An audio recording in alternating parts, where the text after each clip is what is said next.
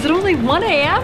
Yeah. So after this, I figured we hit up Marquee. They only serve drinks till 4, but I can get us into this great after hours club in Brooklyn. I'm 37. What? I'm 37. Please don't make me go to Brooklyn.